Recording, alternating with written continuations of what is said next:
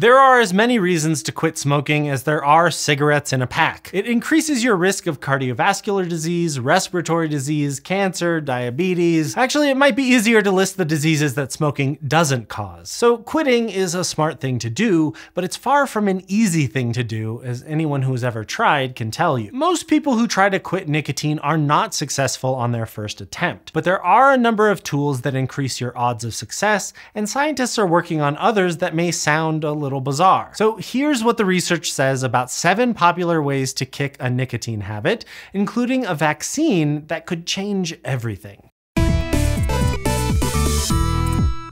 You probably know that nicotine is the compound in cigarettes and vaping products that keeps people addicted. When you smoke, nicotine makes its way into the brain where it binds to the receptors that trigger the release of chemicals like dopamine. Dopamine can make you feel good and give smoking that rewarding feeling that easily turns it into a habit. And the more you smoke, the more nicotine changes your brain so that if you try to go without it, you get withdrawal symptoms like increased appetite, anxiety, and trouble sleeping. All of that is famously tough to get through, but as they say, mind over matter, right? If you just buckle down and stick to your goal, maybe you can quit cold turkey. A study published in 2023 found that this was the most common method among vapers who were trying to quit. 78.4% of them reported trying to quit without any assistance. So if you've tried to break your nicotine habit without help, you're not alone. You might have set a day where you officially plan to stop smoking, like enough is enough. On January 1st, my body is a nicotine free zone. Or maybe when that didn't work, you tried winding down in the weeks leading up to a new deadline. Like by February 1st, I'll go from five cigarettes a day to four a day.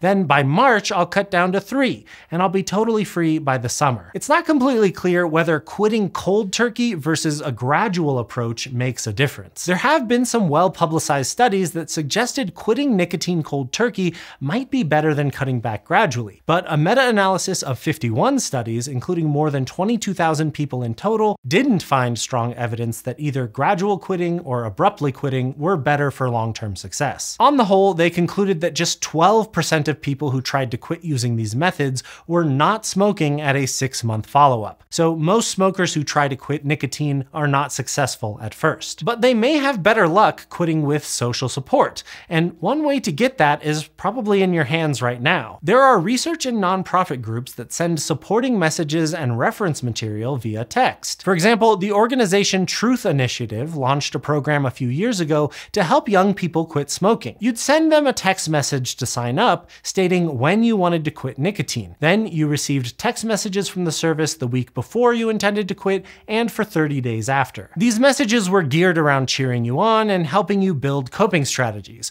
For example, giving yourself a reason to quit is a good motivator. Reply why you're thinking about quitting. You'd respond with your motivator, which reminds you of why you chose to do this hard thing, and if you texted back certain keywords like stress or crave, you'd get on-demand support. These services are pretty cheap and easy to scale up to help a lot of people. Most importantly, it seems to actually work for some people. Almost 25% of users reported they weren't smoking 90 days after they quit, which is significantly better than the cold turkey number. But while these text options are better than having no support, three quarters quarters of people who wanted to quit weren't able to using this tool.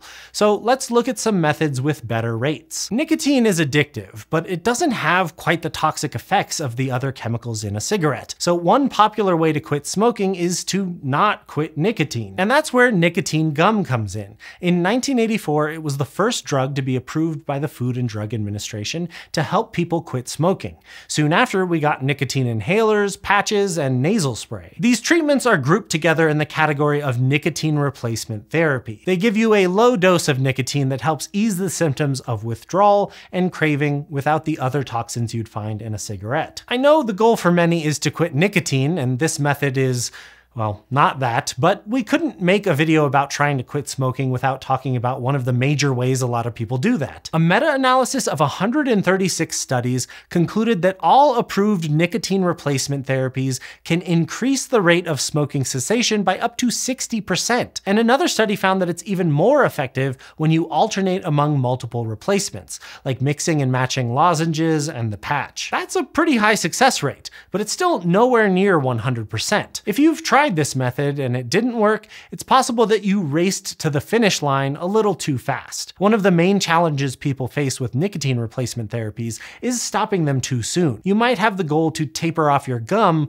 but rushing that taper can lead you right back to cigarettes. Considering the side effects of replacement therapies, like difficulty sleeping, headaches, and nausea, I understand wanting to be done with them sooner rather than later, but quitting is all about the long game. And there's another way that some people ease into quitting without immediately giving up nicotine. E-cigarettes, or vapes, are often seen as safer alternatives to cigarettes because they don't have as many toxic chemicals in them that we know of. But they still have risks, like you can still injure your lungs smoking e-cigs but vapes can help you quit long term. A 2024 study with over a thousand volunteers compared the success of those who received counseling and free e-cigarettes to a group that received counseling without the e-cigarettes. Six months later, 59.6% of the people in the e-cigarette group had stopped smoking compared to 38.5% in the other group. Now, in that study, participants could choose whether their e-cigarettes had nicotine in them or not.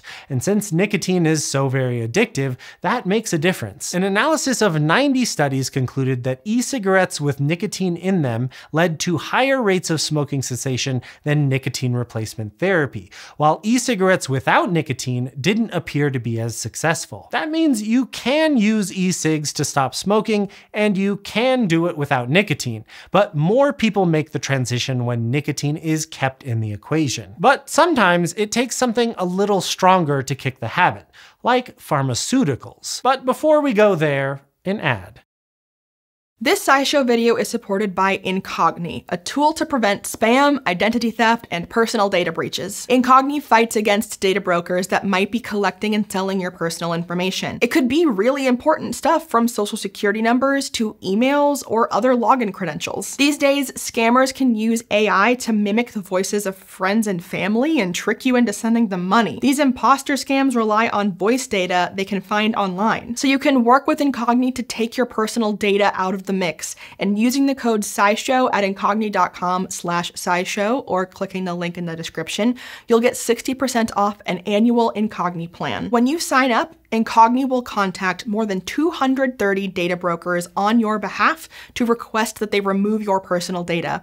And with the yearly plan, they'll keep your data off the market with repeated removals. The automated removal service covers a lot of websites, but if you have a particular site in mind, you can request custom removals from specific links using the unlimited plan. And if the commitment to that much protection feels like too much for you, Incogni also offers a 30-day money back guarantee. You get a full refund if you aren't happy with the service. Otherwise, you can keep their protection for years to come. One common drug used to quit nicotine is the antidepressant Wellbutrin. Yes, it's an antidepressant, and a nicotine cessation tool. Wellbutrin is the brand name for bupropion, and that stuff does a lot of things for you. It increases your dopamine and noradrenaline levels, which are brain chemicals involved in everything from motivation to anxiety. If you recall, dopamine is what makes nicotine so addictive in the first place. So researchers are still working out exactly how bupropion helps you quit smoking, but they're not surprised that manipulating those chemicals can reduce cravings and withdrawal symptoms. In fact, in more than 100 100 studies comparing bupropion to no medication, researchers found that it's as much as 72% more likely to help you stay away from smoking six months after your quit date. Plus, given that depression is a symptom of withdrawal, an antidepressant is pretty well poised to help ease that particular issue. So the fact that it's pretty broad acting might work to your advantage. But Wellbutrin isn't the only nicotine cessation drug out there. Another one that you can use today dates back to the 19th century. The seeds of the Cytisus laburnum shrub contain a compound called cytisine that was first written about in 1818. And it's shockingly similar to nicotine. Like, the molecule looks like the molecule for nicotine and produces a similar effect. Because these molecules are so similar, cytisine can bind to the same receptors in the brain that nicotine binds to. So when nicotine floats on by, there's no room to land. Its spot is already taken by cytisine. This has a few effects. One, it can give you the feeling you're looking for from nicotine. During World War II, German and Russian soldiers smoked the leaves as a cheap alternative to tobacco. But also, when you take cytisine, nicotine just doesn't do it for you like it did before. Cytisine can interfere with nicotine's ability to put more dopamine into your system, making it much less desirable. So cytisine generally works better than nicotine replacement therapies when you're trying to quit. So much so that in the 1960s, a Bulgarian pharmaceutical company began selling cytisine to help people quit smoking, and it's still sold in some countries. But the drug never ended up being approved for use by the European Union or the Food and Drug Administration. They needed more data before approval, but they probably didn't follow up with that because scientists made a better version of it. Varenicline is based on the structure of cytisine, but does an even better job at binding to its receptor, making it even more effective overall. This drug, now known as Chantix, was already used by around 3.5 million people in the US alone just two years after FDA approval. Compared to placebos, nicotine patches, and bupropion, varenicline works really well. According to a collection of 27 studies, it's more than two times more likely than placebos to help you quit smoking. So this method of getting in nicotine's way when it would usually bind to receptors in the brain turns out to work pretty well, which is why it's also the mechanism behind our last tool to quit smoking, even though taking a pill is very different from getting a shot. We get shots for everything from measles to tetanus, so why not nicotine? The theory is that it would get you to make antibodies that attack nicotine. They'd bind to the nicotine molecule and make it too big to pass through the blood-brain barrier to get to those receptors. With less nicotine in your brain, you get less dopamine, which could help you quit which would be amazing. But in clinical trials, the results have been mixed. While the vaccine did help some people quit, that success was far from universal. The determining factor seemed to be how much of an antibody response the vaccine generated in an individual. Participants with the highest antibody levels were more likely to quit. So the idea can work, but the hard part has been getting those high levels of antibodies for everyone who gets the vaccine. To make that happen, scientists are developing strategies to improve adjuvants, which are molecules added to drugs and vaccines to make them more effective. In this case, the adjuvants are made from proteins that help your immune system fight infections. If scientists can reliably ramp up your immune response, then ideally you'd make more antibodies that target nicotine, and you'd have a better shot at quitting. So if you haven't heard of the nicotine vaccine, it's because it doesn't work well enough yet. But scientists have some good ideas for improving it,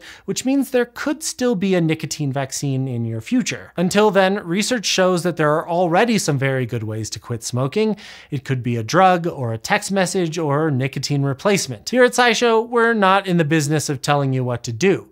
But, you know, if you're trying to quit, there's no reason to wait.